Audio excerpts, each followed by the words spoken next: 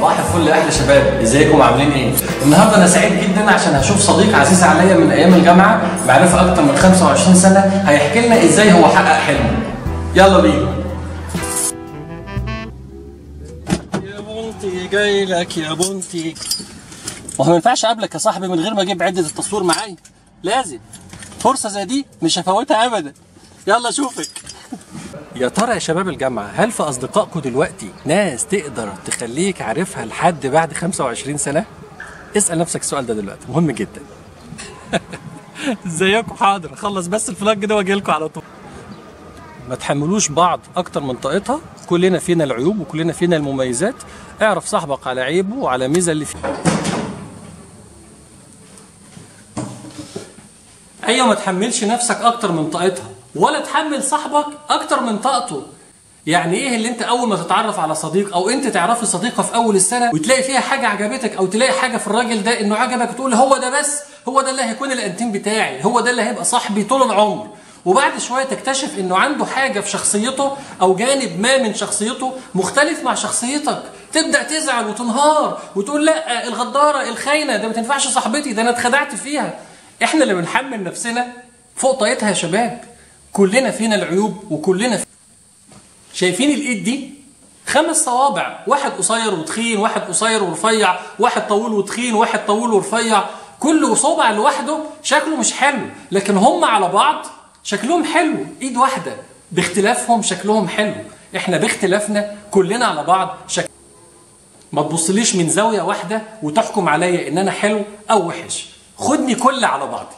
وصديق للمذاكرة غير صديق اللعب غير صديق اللي بيروح معاه الجيم غير اللي بيهزر معاه ويضحكه غير الصديق اللي بيرفع إيمانياته وبيحب يصلي معاه أو بيحب يقرأ معاه قرآن. لو ربنا كرمك ولقيت الشخص المتكامل اللي هو ينفع صديق مذاكرة وصديق خروج وصديق ضحك وصديق أسرار ده طبعا صدف وبتبقى هدية من ربنا امسك فيه بإيدك وأسنانك. أوعى تسيبه. أوعدكم إنكم هتستفادوا باللقاء ده. وصلنا الحمد لله. اركيديا أما أشوف بقى الونت ما جاش ليه؟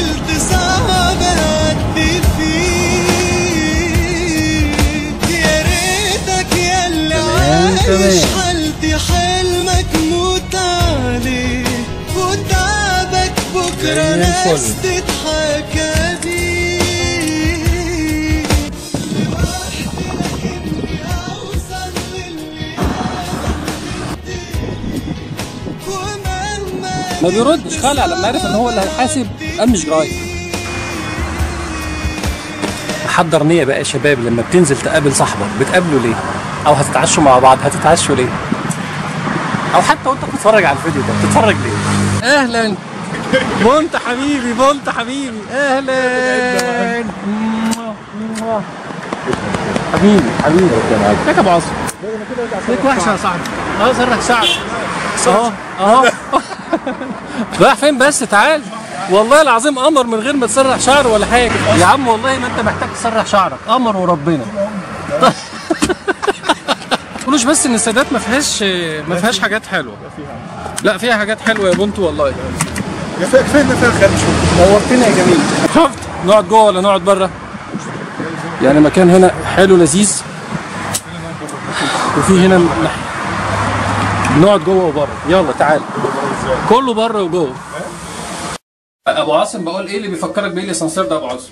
بيفكرني بيوم فرحي. يوم فرحه كان راكب نفس الإسانسير ده اللي طالع كله إزاز كده وإحنا كنا واقفين تحت بقى ونقول له إيه؟ وهو طالع في دنيا تانية أصلا يعني. السلام عليكم. الركن الهادي ده بحبه جدا. كنت قبل ما تيجي يا باشا كنت بدردش مع الشباب على موضوع النية بس. اللي إحنا بنعمل أي حاجة دلوقتي عشان ناخد عليها ثواب لازم نفتكر موضوع النية. ده أساسي النية أساسي. موضوع النية يخلي كل حاجة أنت بتقدر عليها كل حاجة. أكلك وشربك وزيارتك لأهلك حبك لأهلك ولبيتك حاجة. النية يا شباب كان في تجار النوايا هو بيحول أي حاجة يحولها لعبادة لمجرد النية. بس كان في حد قبل ما يجي يهرش شعره بيجي يهرش في راسه ليه؟ إيه النية اللي هيعملها قبل ما يهرش راسه؟ وناس تانية كانت ماشية مع بعض في الصحراء وبعدين فجأة لقوا شجرة والدنيا حر. فجيرهم كلهم عشان يستظلوا بظلها إلا واحد كان ده يلف حوالين الشجرة. وقالوا له أنت مستني إيه؟ ما تخش في الظل. قال لهم لما ألاقي نية الأول أنا هستظل نبدأ. ما تضحكناش بقى خلينا نبدأ الحلقة. السلام عليكم يا شباب. زي ما وعدناكم قبل كده اللي إحنا هنهتم بقصص الناجحين وخاصة في مجال الطب البيطري. معانا دلوقتي صديق عزيز جدا جدا جدا عليا من أيام الجامعة ومن قبل الجامعة من أيام الثانوية. وكنا مع بعض كمان في إعدادي يعني بقى لنا أكتر من 25 سنة أصدقاء. وكان له حلم برضه زي ما قلت لكم وهو صغير لما دخل كلية طب بيطري. كان نفسه لما يتخرج من طب بيطري إنه يعمل مركز كبير لل... للبيت انيمال اسمحوا لنا نتعرف عليه الأول. عاصم عليك خريجت بيطري كفر الشيخ سنة 2000 طيب يعني احكي لنا عن تجربتك يا فندم بعد حلمك اتحقق بعد قد إيه و... وايه الحاجات اللي عملتها عشان تحقق أول حاجة أنا زي اي اي حد, أي حد من الدكاترة البيطريين ما كنتش بحلم إن أنا أبقى دكتور أهو زيه زيكم زينا كلنا. ما كانش حد بيحلم إنه يبقى طبيب بيطري. ما كانش حلمي خالص ان أبقى دكتور بيطري. بحلم إن أنا أبقى مهندس بصراحة. نفسي أدخل كلية الهندسة. كم مرة يا باشا حسيت كنت مرتين. قلت أجرب. ويمكن يكون التجربة كانت بسبب إن أنا أرضي بابا وماما يعني كان نفسهم إن أنا دكتور بشري بس مرتين ثانوية عامة. اللطيف قوي بقى إن أنا جالي هندسة.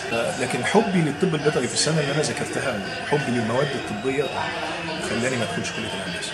بالرغم إنه كان حلمك يا ريس بالرغم إنه كان حلم نعمل كات هنا يا ريس. يعني عشان بس الحتة دي مش عايزين نفوتها. يعني ممكن الحلم بتاعك يتحول من لحظة للتانية حسب مقتضيات الوقت اللي انت عايش فيه. دي حقيقة. يعني أنا حلمي طول عمري ان أكون مهندس وفجأة الحلم ده اتغير لما اتجهت ومشيت في سلك تاني خالص. دي حقيقة. واتخرجت بتقدير جيد سنة 2000 بعد التخرج يمكن كان حلمنا كلنا إن إحنا أياميها نشتغل في شركات الأدوية. كان بالنسبة لنا حاجة مبهرة. يعني كان مرتب كبير أياميها 1000 جنيه في الشهر. ألف جنيه. واتعينت في جهة حكومية. محترمة ومرموقة ويعني مستقر نفسيا فيها يعني وماديا وكل حاجة. عشان ده بس إيه إن أنا ممكن ما أعملش حاجة تاني ورضيت بالواقع بتاعي وخلاص مرتبي مكفيني وحياته مستقرة وي وي لكن هو برضو يعني في حاجة بتنغزه في حاجة بتشكه مش مرتاح نفسيا عايز يحقق الحلم بتاعه. أصل أنا عاجبني فيك أنت ليك صاحب مبدأ كده في فكرة معينة؟ إن هو ما تكتفيش بمصدر رزق واحد لأن أنت مش عارف قدام في إيه. فقول لي بقى حاجة من الحاجات الكتيرة اللي أنت جربتها دي. اول شغلي في الحكومة كان في مزرعة خيول لقيت نفسي قوي قوي قوي في شغل البيت انيمال فكان شغلي كله بالتليفون وكله زيارات منزلية وعياده وكان كل تفكيري إن لازم في يوم من الأيام يكون لي عيادة وليها مكان. آه، بدأ فتح العياده مركز كبير للدكتور عاصم عبيد لجراحة ال- البيت أنيمال. ومش مجرد هو عيادة بس للعلاج الحيوانات لا ده هو بيحوله لحلم كبير بيدي فيه كورسات تعليمية للأطباء البيطريين وحتى أصحاب ال pet animal إزاي يعملوا handling ال animals بتاعتهم من خلال المركز ده. ما تيجي نروح طنطا أحسن عشان نشوف الموضوع ده. يلا بينا.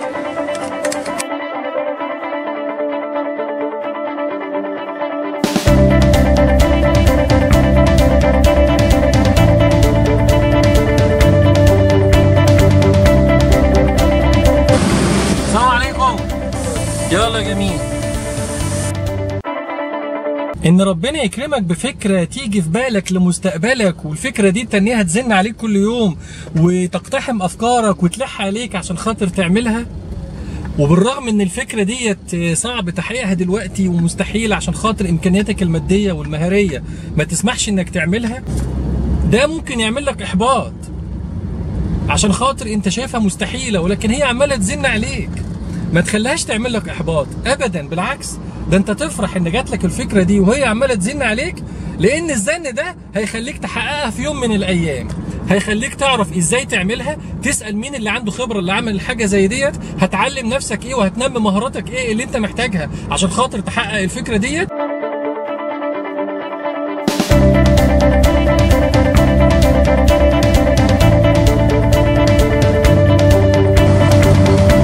شارع الناجي جاي لك يا أبو عاصم. يلا بينا. بسم الله. السلام عليكم ورحمة الله. آسف جدا على التأخير. إزيك يا واحدة دكاترة؟ أحلى شباب. أنا ما جيت متأخر صح؟ عملت لكم انتربشن مش مشكلة عادي عادي. أنا أنا طول عمري باجي متأخر. أستاذنا دكتورنا. مساء الفل والسعادة. ازيك يا دكاترة. السلام عليكم دكتور خالد دكاترة ازيك يا فتحي أستاذ التشريح في كلية الطب البيطري جامعة السادات. أهلا بيكم. تشرفت ب... وغاوي تصوير. جاي صورني تشرفت بوجودي معكم النهارده ده إيه؟ مش هعطلكم. أنا هكمل زي ما أنا وعيشوا حياتكم. اتفضل يا دكتور. إيش يا سيدي؟ أه. إن إحنا هنتكلم على الحاجات اللي بتأثر على ال digestive system عامة سواء الفيروسيه أو البكتيريه أو الأمراض اللي هي المعديه لا لأنه أصلا عنده قابليه انه ياكل ودي حاجة كويسة. في حاجة specific لل distemper وهي الأعراض العصبية مع ال lion position قاعد قاعدة الأسد. مش هيعملها غير المرض ده. فرصة بقى في ال rest نتعرف على الناس الحلوة اللي هنا. إيه، هدير دكتور هدير. دفعة 2012 إيه، في مديرية الطب البيطري. آه، أحمد يوسف الفرقه الخامسة اعتبار بطل المنصور جيت هنا عن طريق آه، أحمد حسام صاحبي معايا في الدفعة يعني فهو اللي قال لي على موضوع الكورس وكده يعني. تعرف على حضرتك أحمد حسام. بطل المنصوره الفرقه الخامسه أنتوا كلكم بيتر المنصوره؟ كده برضه مع أحمد زميلك ولا؟ وأنا اللي جاي. سنة خمسة ريني سنة خمسة. منصورة؟ لا كفر الشيخ. كفر الشيخ. عرفت المكان إزاي؟ فيسبوك. فيسبوك. حضرتك اتخرجتي ولا لسه؟ آه يا أهلا وسهلا. كفر الشيخ صح؟ اسم حضرتك؟ ندى توفيق. دكتورة ندى توفيق. أنت جيتي هنا إزاي يا دكتورة ندى؟ والله مامتي مع الدكتور رانيا برضه في الشغل فقالت كويس والله. المفروض نص الدخل يروح لدكتورة رانيا. نادية عصام كفر الشيخ. نادية عصام. 2017 دكتورة هند السفاح هند الشقة آه كفر الشيخ 2012 أحمد عبد الله بيطري المنصوره سنة كام يا أحمد؟ خمسة؟ فرقة خمسة. فرقة خمسة. جيت عند أحمد حسام أكيد ده المفروض. أحمد حسام ياخد ياخد دعم يعني. حضرتك؟ أحمد صالح في طب بيطري المنصورة سنة خمسة برضه. إيه اللي خلاك شجعك جيت تاني بعد ما خدت level 1 يعني هو أنا حسيت إن الدكتور عاصم يعني مهتم ومحضر لنا كم كويس. من المعلومات ممكن يفيدنا فعلا. بص هو الكلية عامة ده هاني ملوش 3000 لازمة. الواقع العملي ده حمادة تاني خالص. يعني انت في الكلية يعني بلح. تعالى بقى خلينا في الشغل العملي. يعني هو ده اللي بيجيب من هعمل. قط الحاجات دي ومنتج هو ده اللي عايزين يقولوه هو ده اللي عايزين يقولوه بس إحنا مكسوفين فيها يمكن أنا اتيحت لي زمان إن أشتغل كل حاجة.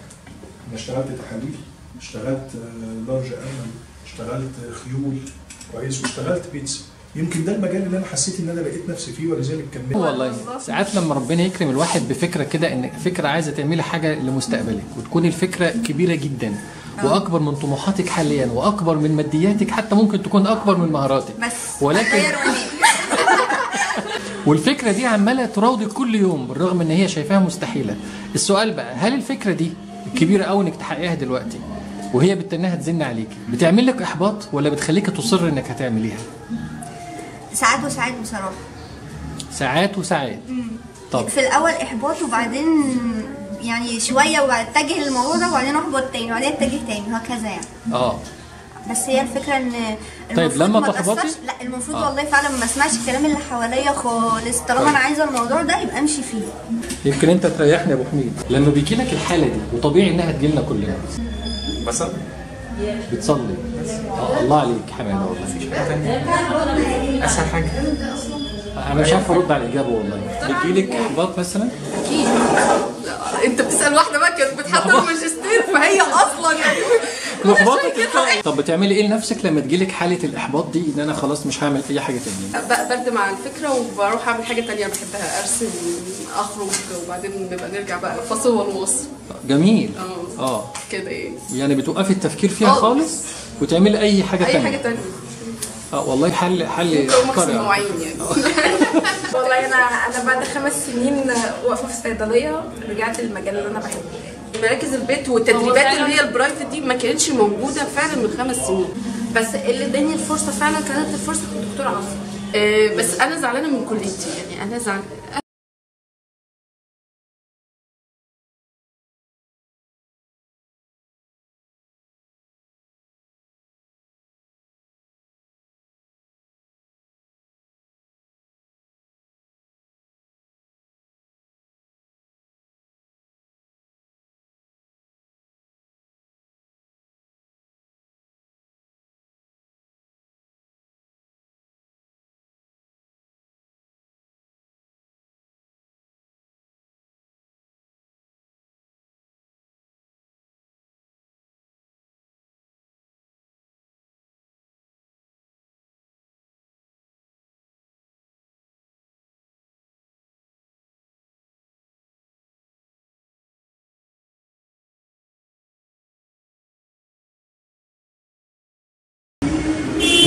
طعام نظيف.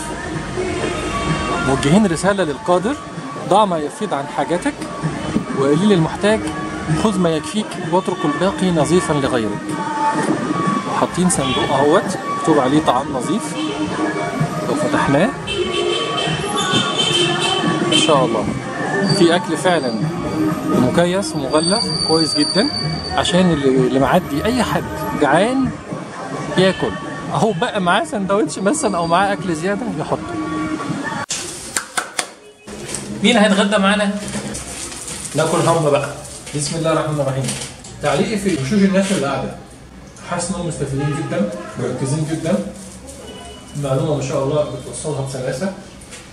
وشرحها فرانكو أرابي. يعني ما انتش مش مش هدفك إنك تدي معلومة علمية قد ما تدي البهاريز بتاعتها. إن إزاي توصل والخلاصة. بتقول ال- الكلام اللي في الكتاب وبعدين تقول له الخبرة بقى بتقول إيه. فده شيء كويس جدا. أنا نفسي استفدت جدا بصراحة وعملت refreshment المعلومات النهارده غير عادي.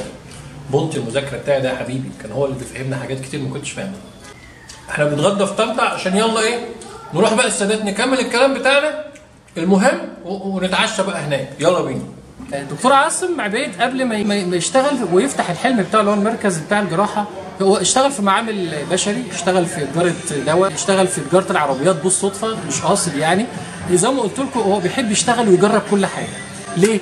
عشان تحدد هدفك. لازم تعرف انت عايز إيه أصلا. التجربة العملية هي أفضل حاجة.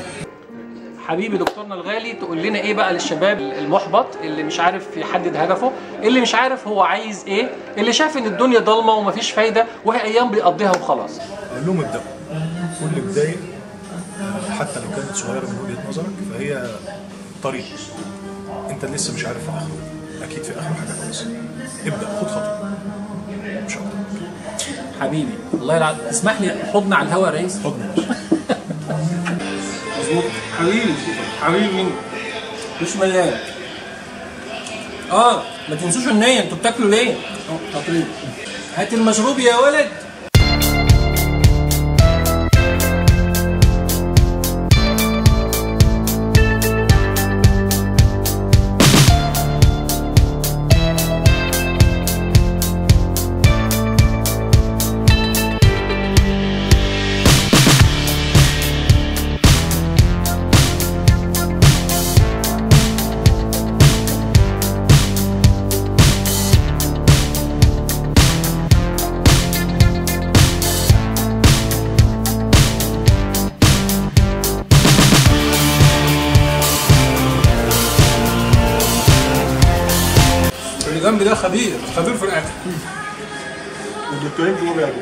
بيتكلمش وهو بياكل أحلى حاجة في العشاء بتاع النهارده مش أول مرة ناكل مع بعض.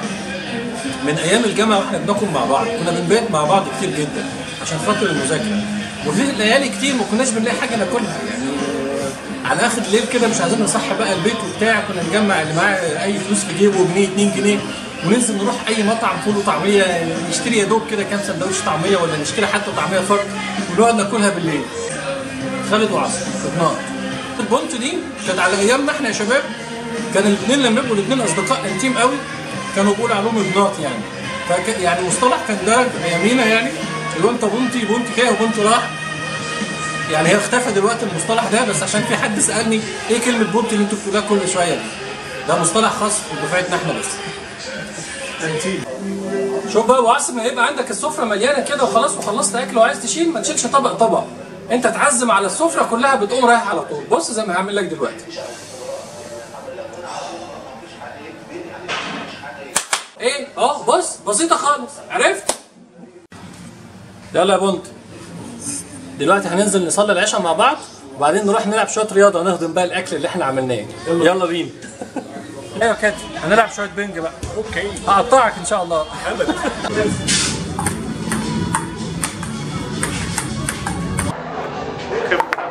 أبو عاصف كان غالبني المرة اللي فاتت يا شباب. وأنا ناوي أقطعه النهارده إن شاء الله. أيوه أيوه حلو الكادر ده يا عاصف. هات حد الكاميرا تاني.